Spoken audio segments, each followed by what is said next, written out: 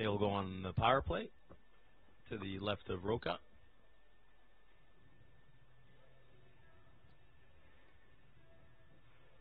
Face off one by Cochrane. Comes to the point. Pot shot comes to Lovey. Lovey takes a shot. Rebound comes out and another goal by